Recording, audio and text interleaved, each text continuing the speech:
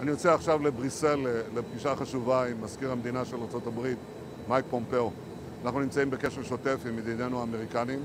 אני אדון עם מייק פומפאו על אה, שורה של התפתחויות באזורנו ועל הדרכים שאנחנו נוקטים יחד כדי לבלום את התוקפנות של איראן וגרורותיה בצפון, וכמובן שנדון גם על נושאים אחרים.